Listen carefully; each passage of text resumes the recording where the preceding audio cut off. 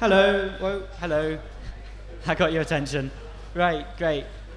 Um, cool. Well, we're eight minutes behind schedule, so as I start in the next two minutes, we should be fine. Um, you can't see any of these slides, I guess, so I'm going to do my absolute best to narrate them amusingly. Some of them hopefully have video which will have loud, bassy sounds, so you'll be able to hear that and just imagine the rest of it. Um, right, cool. So, hi everyone, thank you for coming to this talk. I'm broadly talking about high altitude balloons. Um, there's this really beautiful photo on the screen that we took from one of our high altitude balloons. It's about 35 kilometers above the surface of the Earth, and you can see this curvature, it's really pretty. There's the gentle transition from the Earth, this thick blue atmosphere, out to the black of space, and by the edge of the photo, it's just black, and that's space. And this is this classic photo that we get on most of our flights, and you, you really can't see any of it. So just close your eyes and dream of NASA satellite photos of Earth, and you'll get the gist. Okay, great. So, outline of this talk for some handy bullet points. Um, I'm going to start off with some stuff that isn't high altitude ballooning, but is fast, exciting rockets that are almost as high altitude, because that gets the best videos. And then dig into the high altitude ballooning itself. There's a brief overview what is high altitude ballooning and why do we do it and how does it work. And then a little bit of chat about the electronics we build and these payload systems we've made some talk about the software systems. We've got this really great community where lots of people can get involved and feel like they're actively participating while sitting at home in their ham radio shack. So that's exciting. Then a kind of history trip through some exciting launches we've had in the past and more recently. And my guesses at the future. I actually gave this talk two years ago at the last EMF and had this great slide of things that might happen in the next two years, and they all happened. So I've got some new ideas this time, and we'll see how that goes and then some quick details on how you can get involved yourself, and finally details of a high altitude balloon launch we'll be doing at EMF, hopefully. Um, okay, this is the slide with a photo of me and some details. I'm Adam Greig. I'm an engineering student, and for the last few years, I've been a member of Cambridge University Spaceflight, which is a student society. We do high altitude balloons and rockets and other things that kind of excite us. And I'm also nominally a member of something called the UK High Altitude Society, which is a very loose collective of people who are interested in these ballooning stuff and kind of come together to work on, I don't know, interesting balloon stuff. Yeah. Um, okay, on with the, the videos. I don't know if this is going to play or what because I exported it from PowerPoint in the car on the way here. Give me a sec.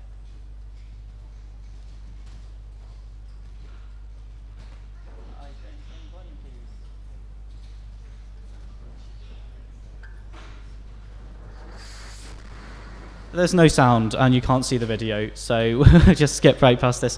Um, never mind. High altitude ballooning. Okay, there's another beautiful photo. You can, oh, I can just see the outline of the Earth there, but you probably can't. Um, on to the overview. High altitude balloons are these really big balloons, usually made of latex, although some people have been experimenting with different materials more recently and they're actually manufactured for meteorological radiosonde balloons. These are the things the Met Office launches twice a day from 10 places across the country, and they go up and they pop and they come down, and the Met Office looks at where they went on the way up to work out where the winds are blowing and therefore predicts the weather.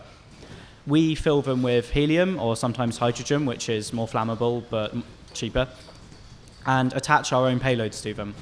And usually the payloads are doing a similar kind of thing to these Met Office balloons. They have a GPS unit on them, and most GPSs will work just fine at that kind of altitude. They get their position and relay it down over a radio. And there are a few options for the radio system. I'll talk about those in a bit. Then on the ground, you receive where your payload is, hopefully figure out where it's going to come down and go pick it up. Maybe you've put some cameras on the payload, you get your beautiful photos. Um, it's really the high altitude ballooning thing in a nutshell. A lot of people are into it because they like the photos. Some people like making the custom electronics. There's a lot of scope for doing interesting, exciting things on the electronics. Um, and then, right, the things are coming down off the radio. Someone's got to receive these signals. Usually, you receive the radio signals yourself, but because the protocol is open, anyone across the country or across the world can pick them up if they've got a good radio and an antenna and people do. So we've built this whole system where anyone who wants to can download the software, listen to these radio, listen to these balloons, and uh, report back on where they are. And uh, there's some great slides with photos of that too. But so um, Ah, this is where having my speaker notes on the screen would have been fantastic. We, I guess I'll talk about the electronics first. A classic kind of payload is an Arduino, a GPS unit that spits GPS data out over a serial. If you've ever used a GPS, you know exactly what that looks like. And formats the message slightly, sends it back over the radio. Radio modules vary. You can buy a thing off a shelf that you stick into your Arduino and it needs nothing else. You just chat to it by toggling a pin high and low and your job is done, all the way through to building the radio entirely yourself from scratch with PLLs and it's a huge faff and does not work the first time. And uh, on the screen are some pretty photos of various electronics people have made. Okay, um, the radio telemetry. For people who know about radio, we use usually something called RTTY, which is where you have these two frequencies, it's a kind of frequency modulation, and use it to send binary data. So if you're at one frequency, that's a zero, and at the other frequency, that's a one, and you just send out serial data. If it sounds kind of primitive, it is. It predates pretty much every other form of technology. This is the stuff people used to have with the actual mechanical teletype printers over the radio. But it works well enough for us. Um, how well is well enough? So these payloads are transmitting with 10 milliwatts of power, which is about as much as your car key fob to unlock your car. The balloons are something like 30 kilometers up and say 500 kilometers away from you, and we still get telemetry just great. So it's like five or 600 kilometers distance, same power as your car key fob, and you pick up this telemetry. The secret is it's really, really slow. It's like 50 baud data. So you're staring there and you can see each character come in slower than you could type it. It's awful. Um, on the screen now is a map of a system we've built. I, I, I can see it kind of. There's a map of the UK, and you can see these little radio masts where everyone who's running the software we've written can, has shown where they are, and they're picking up signals from these balloons. Yeah, cool. Let's move on to the more interesting parts, because you really can't see much of these slides. Um, we launched a cuddly dinosaur into space. There's a photo of a cuddly dinosaur in space. We launched some teddy bears into space. Um, this was quite good fun. We went to a local primary school, had a big outreach event, got two different classes of kids to build spacesuits for their teddy bears so they could keep them warm up in space. The kids got to learn about insulation and building stuff, and they got to be a bit crafty. They stuck some names on the teddy bears, some little flags. They look really sweet, right? Um, you probably, I don't know, can anyone see anything on the screen? I mean,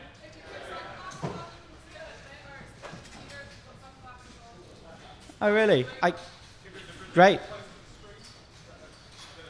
Um, I'm loath to touch it. It's kind of big and heavy. Anyway, yeah, there are these teddy bears, and we put thermos, thermocouples, temperature sensors deep inside the teddy bears and sent them all up into space. And the kids are all excited, waiting to see how warm the teddy bears stay. And, you know, at ground, they're maybe 12, 13 degrees C, a healthy body temperature for a teddy bear. By the time they got into space, they were down at minus 40, so um, they didn't survive that trip. But it's okay, the kids learnt a lot. Um, there's a photo of some really rusty electronics now. Often you don't get these things back, especially in the early days of the hobby, back when people didn't really know what they were doing and we had much less sophisticated tools for predicting where the bloom would go. Um, it was kind of a potluck. You launch a thing and it comes down somewhere and you really hope for the best it's somewhere easy to get to. In this case, it landed in the North Sea and we thought that was the end of it. Till four months later, it's washed up on the coast somewhere, covered in rust. Someone's found it walking their dog on the beach, give, gave us a phone call, and um, pulled the SD card out. Everything was beautiful. Still got the photos, no trouble. Um, yeah, cool. Um, more exciting than just sending up cameras and getting photos, one of the projects Cambridge University Spaceflight did with these hard balloons was a collaboration with the European Space Agency. So if you're a space agency and you're looking to land things on Mars, which you do because Mars is great, uh, you need parachutes for the very, very scary couple of minutes between orbit and on the ground. And if your parachutes don't work, you will be on the ground in more pieces than one, and you'll be, have a sad day. So you need to do these parachutes right. Problem is, in Mars, the atmosphere is really thin. You're deorbiting, so you're going to be supersonic. Supersonic parachutes are a whole load of black magic. If you want to test your parachutes in the right conditions, you either need a huge wind tunnel, of which there is one in the world and it is very expensive, or you try and be a bit cleverer, which is what we tried to do here.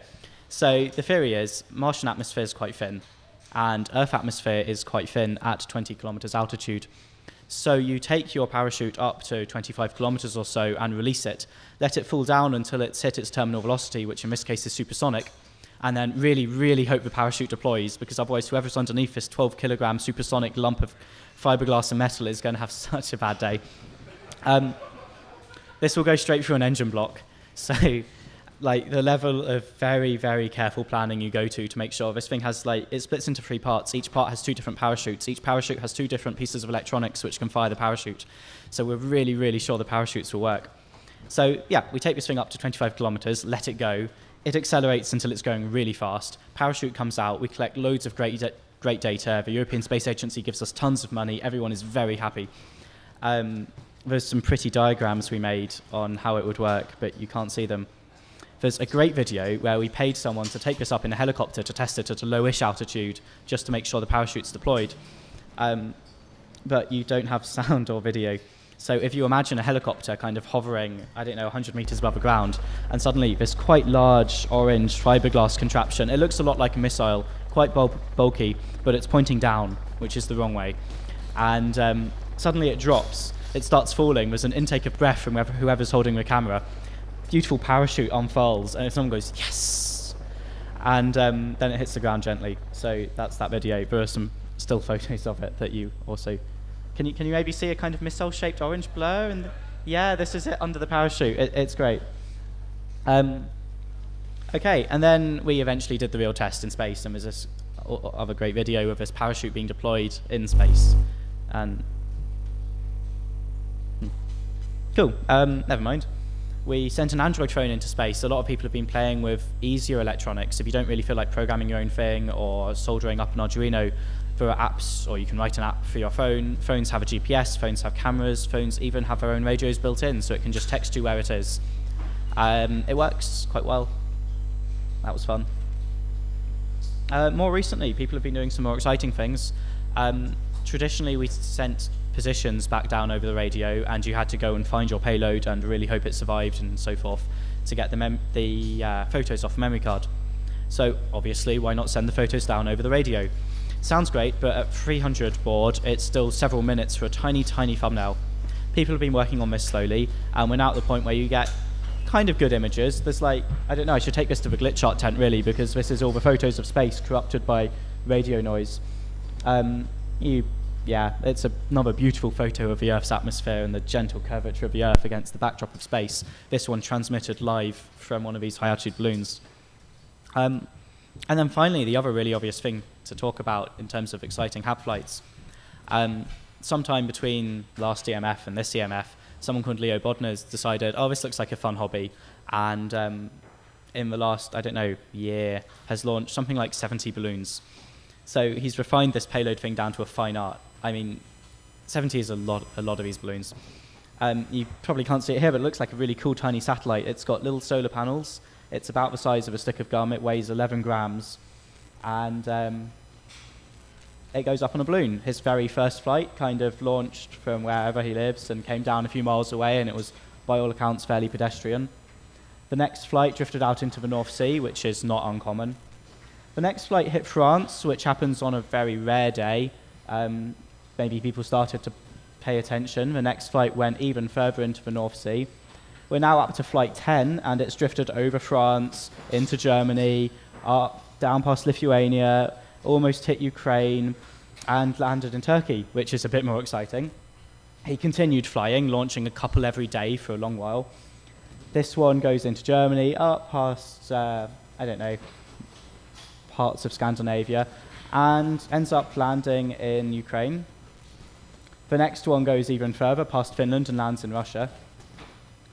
We're up to flight number 40, and it's gone past the Arctic Circle. Flight 44 lands in Syria. 45, and you're really starting to see what he's going for here, drifts all the way past North Africa and ends up landing at the corner of this map that maybe you can see um, kind of south of Russia, past Afghanistan. Flight 47, and last heard from just over Japan, at this point, no one really knows where it landed, but it probably had a sad time in the sea. Flight 52, and um, we've done a big circle all around southern Europe, past Turkey, and back again into the Ukraine. At which point, people are starting to think, what is his secret? And it turns out the secret in this case is trying 40, like 52 times. It works great. It turns out you can get this thing down to a fine art. These payloads are every bit as perfect and precise as they need to be. They weigh as little as possible. The solar panels mean they can run for as long as they need to go on. And um, the balloons start getting more and more special. Now we're on to flight. Oh, well, yeah, okay, kind of spoilers.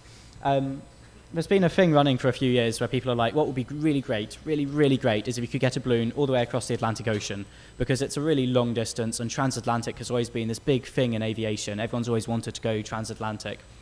And for a long time, people would try and would try, and they'd come up with such fantastically complicated systems. You had these balloons with loads of mechanical contraptions and valves and satellite modems and all sorts, and they kept not working, and it kept being very upsetting really difficult from the UK because the jet stream always blows you east instead of west. So you pretty much have to launch from America, America or get really lucky.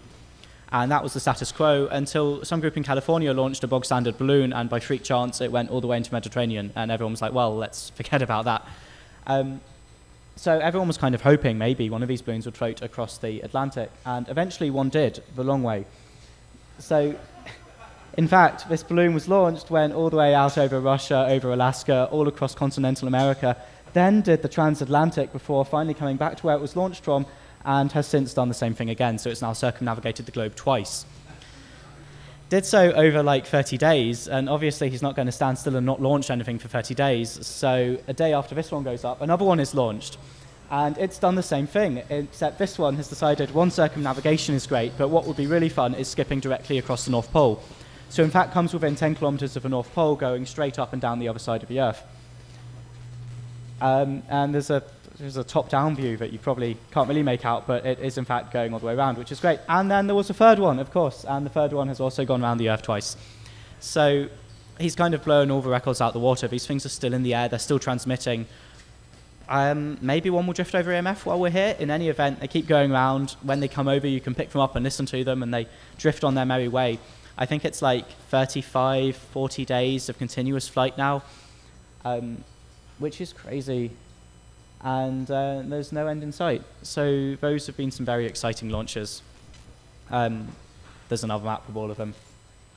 Cool. So last time I said, oh, what might happen? What are people going to do in the future? What are interesting directions to go in? And there were things like maybe people should start using these radios for stuff like actual photos, and people have done that, which is great.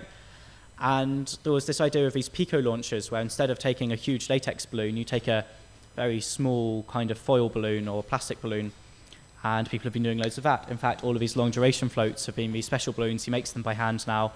They're made out of the same plastic that you get in microwave food containers, the kind of peel back stuff. It turns out that works really a treat for these balloons. Um, long duration floats. And then finally, I was like, oh, yeah, maybe someone will finally do the transatlantic. And that's happened. So exciting things to play with in the future now, especially if you wanted to get into things and kind of push the boundary a little. Um, are these new radios, the LoRa radios, which have built-in error correction. They're actually really fast. They are very spread spectrum. They'll probably work a lot better than everything we've used so far. Plus, they're about five pounds on eBay, which is a quarter of the price, and you don't need an expensive amateur rig to receive them. So probably that will become really popular. Um, TurboHab, which is Matt in the corner over here invented. Um, same radios as before, but with actual error correction, and it's kind of nice and binary and efficient. And if you're an engineer, it kind of pleases you because the old format was about as inefficient as you could get if you tried, and the new format is about as efficient as you can get if you tried. Um, on the other side of the spectrum, Pi in the Sky is this new project. You've probably all heard of a Raspberry Pi, which is this small, cheap computer. Pi in the Sky is a thing that sticks onto it and turns it into a HAB payload. So now all you need to do is buy the thing and stick it on, and you have a computer on a balloon, and you can do clever things with that computer, maybe.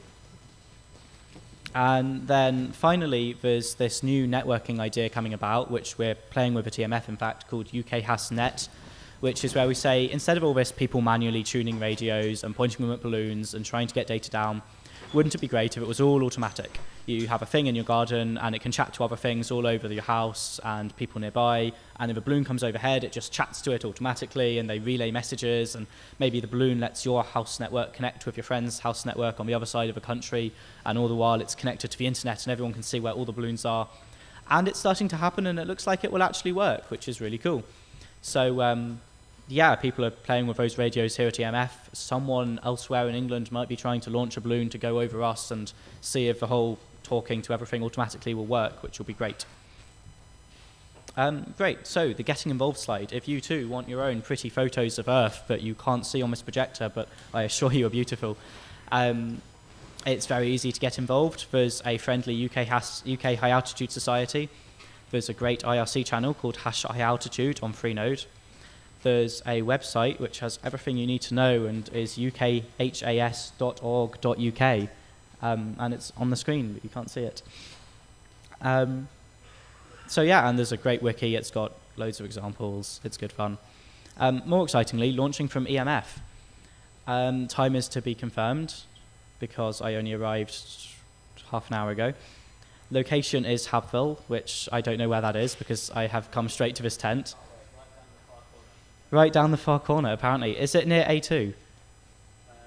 It's near A2. Um, and so this time, two years ago, we did the same thing. We had this 100 gram latex balloon. We bought two of them at the time. It's about this big. It doesn't weigh very much. You fill it with helium. And we attached a payload called Joey, which was this fun little experimental thing we'd just made. And uh, we let go. We duct taped it into a jiffy bag with our address written on it and a stamp. And we said, if found, please return, because we figured we're not going to go out chasing it now. And up it went, and we all had some fun, and we tracked it. And then somehow, the duct tape failed, the payload fell out of the jiffy bag and hit something like 60 meters a second, which is uh, 150 miles an hour going down, and then crash landed in central London. So, as successful flights go, this wasn't the best. Um, we got a lot of really angry emails. My favorite was the one calling out for me to be banned from all future uses of the distributed tracking system, which I felt was a bit harsh given as I wrote half of it. Um, anyway, we're doing exactly the same thing this time. We've got. We've got a new batch of Joeys. None of them have been made since the catastrophe two years ago, but I found the PCBs, so we soldered up six more. We've got the twin 100 gram balloon. It's the same one as the two we bought two years ago, and it's been kept in a bag ever since. It's probably fine. And um, yeah, twice as much duct tape is pretty much the plan. Maybe we'll put a little parachute on it, but I don't know if we have any parachute. There are no parachutes, so twice as much duct tape. Um, there's there's one tool I should mention, which is this predictor we have, and it uses this high altitude wind data to predict where your balloon will go. And it's great. If you know some properties like it will burst at this altitude, then you know where it will come down, and you can avoid central London, you can avoid airports, you can avoid military bases, you can avoid all these things we've hit in the past and had really awkward phone calls about. Um, and we used the predictor two years ago, and it said, yeah, it'll be fine. And then the balloon kept on going twice as high as we expected, and hence central London. Uh, so this time we don't know, really. It will probably be good fun. So we'll probably put it on the schedule. We'll send out an email to the schedule people, I suppose. Come along to a Hab Village. We'll launch this balloon. It will be quite fun going up. It looks quite cool. We'll track it on our radios and we'll see where it is. And we'll cross our fingers that it lands in a field. And um, yeah, great. Thank you very much for listening. Uh, that's it.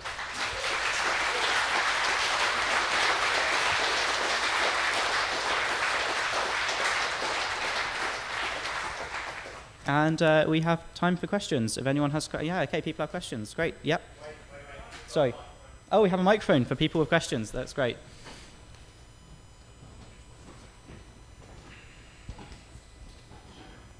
Um, can you put up uh, the slides on the schedule for the talk so we can look at them offline? Yes, good idea. I'll put the slides up. Yeah. And then you can see the pretty photos yourself. That will be great. Okay. And when is the balloon coming going up? I don't know when. Okay. mm, That will put that on the schedule. Okay. Pro- do, do, have any ideas when? It's looking like Sunday, apparently. So, how much does it cost to say set up your own rig to be launching your own balloons? Um, but what's the sort of entry level for this? Um, like a couple hundred pounds gets you everything you need to get a balloon in the air and track it and so forth. Um, possibly cheaper these days if you go for the much smaller balloons and very small payloads, but like safe within a few hundred pounds, and that includes like cameras and helium and so forth. I'm just curious, what's the, uh, you know, do you have to seek permission, like for flying things? Yep, I should probably mention that. Um, so, there's um, the permission is that it's twofold.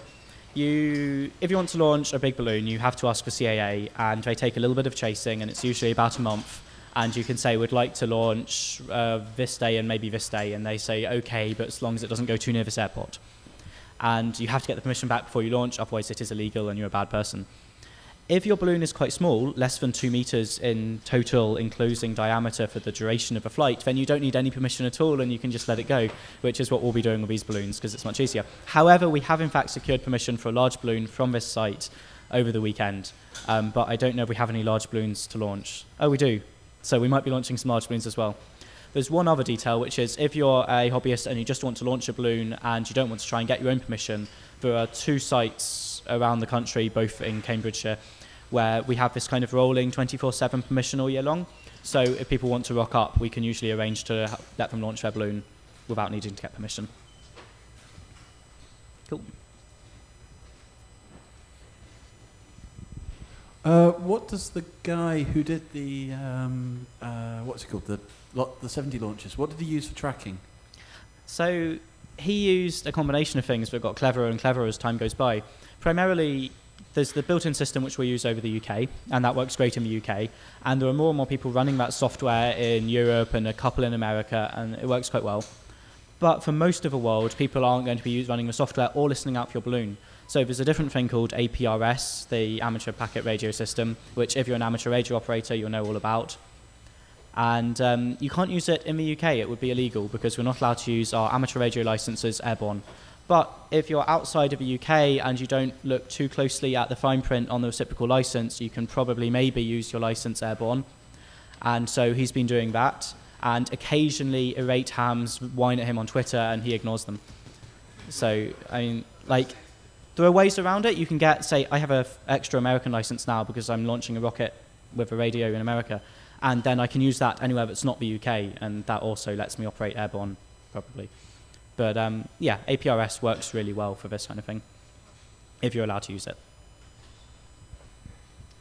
So the balloons which have been sort of gone all the way around the Earth. Yeah. How long will it take them to just deflate entirely? It's a really good question, and no one's quite sure. Um, the theoretical rate at which they're leaking helium is really low because this plastic film is very impermeable. And so far, they haven't changed altitude, which you'd expect them to do if they were leaking helium. Um, so it's it seems like more likely the UV degradation will cause the plastic to weaken, and then the plastic will just pop because it won't be able to take pressure. But we're not really sure yet. How much protection against the cold and other environmental factors up there does the hardware need? Um, this is a thing a lot of people kind of trip up on. I've seen so many times you get, you know, the kind of powder hand warmer things, little sachets, you put them in your gloves to keep your hand warm. People go, oh, it's very cold up there, my electronics will get cold, we'll put one of these in. Two problems. They need oxygen to work, which you don't have. And secondly, there's actually so little air that the electronics can't keep cool. Um, you don't get convection cooling, and the electronics are generating heat. So usually they end up quite warm by themselves just because they can't cool down. Um, so most people fly fairly exposed payloads, and it works just great. People will tell you that lipos don't work at minus 20, and maybe they're right, but it looks like they're not actually right because they work just great. So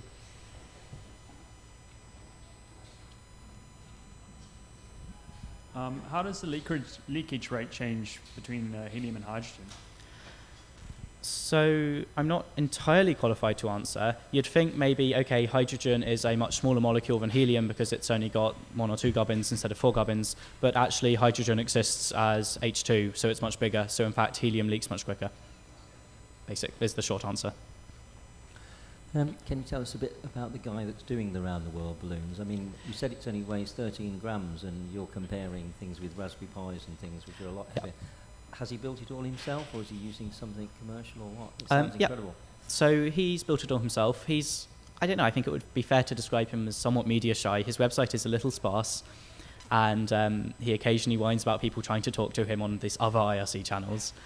He's built all the electronics himself, which is a fairly normal thing to do, and he's worked on getting it as light as he reasonably can. So it's a very small PCB, it's got a few small surface mount components, and nothing unnecessary. Um, he does this for his day job as well. He assembles like electronic systems and things for F1 cars and things.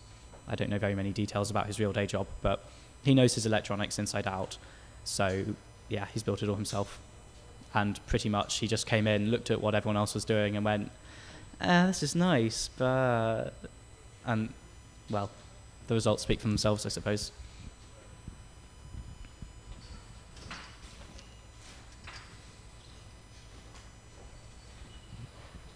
You uh, tell us about the predictor software that you use? Yeah, I'd be happy to. Um, the predictor software is this great web tool. It's available online. You go to predict.habhub.org and you can type in where you're launching from and it will show you where the balloon goes. And it does this by downloading a whole load of wind data for every point on the surface of the Earth for every time for the next two weeks, which is a heck of a lot of data. And it gets this from the American NOAA weather agency people who run a big supercomputer model to work out where the wind is blowing and then it runs some clever integration methods to say your balloon is here and we know it's going to ascend at this ascent rate based on how much helium you've put in and so forth. And it will burst at this altitude because that's when the balloon gets so big it pops. And then it will descend at this rate, we hope, because that's how thick the atmosphere is and it's got this parachute, say. And uh, then it lands. And the software's kind of changed a lot about how people can do ballooning. It means you can launch and be confident you're avoiding airports and cities and jet fighters who are training. that was really awkward. Um, like cutting down the tree was no problem, but the later CIA investigation was. Um, so it's a good tool. It gets used like 2,000 times a day by people all over the world. There's a really great photo that I probably can't show you um, of every place anyone's requested a launch from, and it's basically a population density map of the Earth. Anywhere there are people, we've got people requesting these predictions. And um, also the new version of the predictor, because rewriting everything from scratch is always the best idea, is being deployed in a couple of weeks, and it's even cleverer. You can do fancy things like say, I'm going to launch sometime in the next two weeks, show me where all the possible landing locations are. And I'm going to launch, and I can change how much helium I can put in, how much should I put in to avoid going in the sea.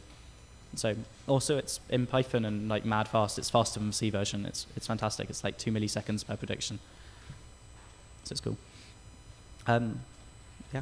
Um, uh, yeah, what do you think about uh, Facebook and Google and their Wi-Fi balloons? Do you think that's realistic? Yeah, um, there was a UKHAS conference like two weeks ago, and we had one of the guys who's consulting for Google Loon give us a talk about Google Loon. And it seems like it's working really well. They've actually had balloons stay up for like a couple months, and they're launching, they've got launching down pat. We saw a video of them kicking off these balloons, and it's like they just throw them out every hour or so, and they mesh perfectly, and they provide Wi Fi, so it seems to be working great. Um, they claim they can control where the balloons go by making them go up and down, which is entirely believable. Whether it becomes a feasible commercial project, I'm not sure. It seems really expensive, but the technology definitely all works.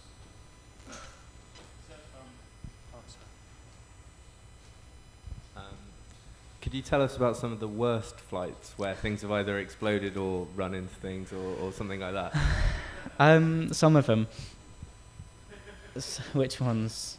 I, I quite like, there's a military base called RAF Thetford, and um, we came down while they were doing some helicopter training with Chinooks, and they were most displeased. And it landed in this really tall tree, and we were like, oh no, our thing's in the tall tree. And this is the one where they're like, oh yeah, we'll cut that down for you, no problem. And got out like a huge chainsaw, cut into the tree, army jeep, pulled the thing over, no trouble. And then set the CIA onto us. There's this in big investigation where they're like, you know, should we have done something differently? Are we liable? What would have happened if we hit a helicopter? Would that have been really bad? Answer yes. And eventually they concluded that really we were probably doing everything legally and fine. And the guy running the investigation was like, also, this looks really cool. Can I see some of the photos you took? so that was, that was a happy ending. Um, are there any other? I think the one that landed in central London after the last EMF was pretty bad. It actually landed in um, Pineham Park and um, some Richmond Park. And we knew someone who was out walking in Richmond Park that afternoon, so he picked it up for us, which was great. Um, I, the, the UK has one. I'm getting a, a, a shaking head. I probably shouldn't mention that one. There, there were children. um,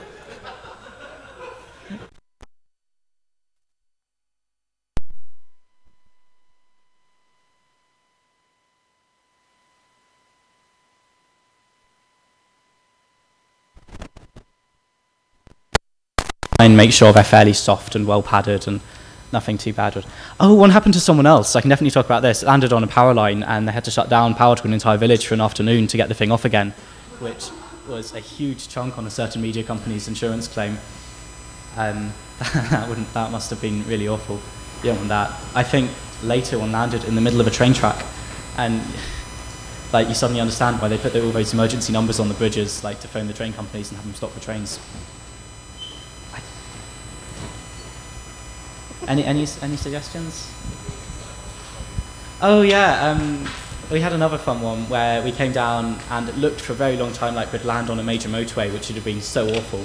Turns out, fun fact, 1% of the surface, surface area of England is major roads, which means you launch 100 balloons, you expect one of them to land on a major road. Hasn't happened yet. This balloon was drifting straight over a major road, and it really, really looked like it would land on it and cause us no end of trouble. Then at the last moment, veered off to the side and almost took out a construction worker on top of a building. Best part is the video cameras were still running, so we have this great video of it swinging by, not quite hitting him. And the guy goes, Oi, what's this? Picks it up. We've written harmless scientific experiment on the side. He goes, Harmless? mate."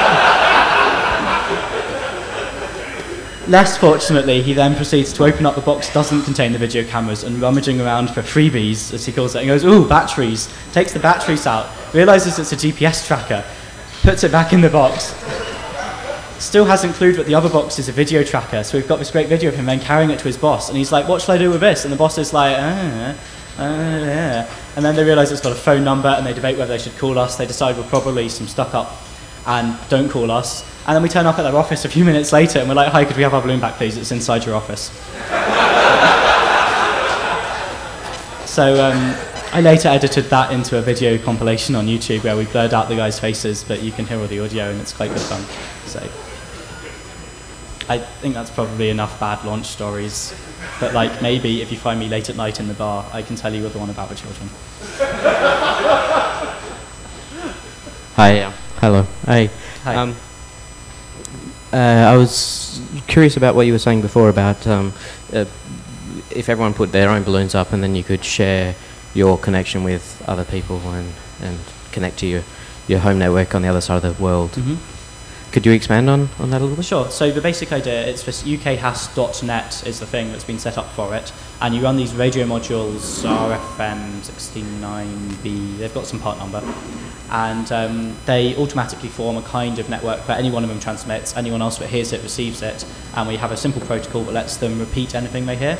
So they act as kind of repeater stations. There's a time to live in the packet, time to live, I suppose. So packets only get repeated so many times, and then the balloons are just another node. And the idea is you have one in your garden that sends back logs temperature or humidity or something boring, and you have one in your house that's plugged into your computer over USB, and that's enough to get anything it receives sent up to the internet. And then the internet has a map, and you can see everything and even received.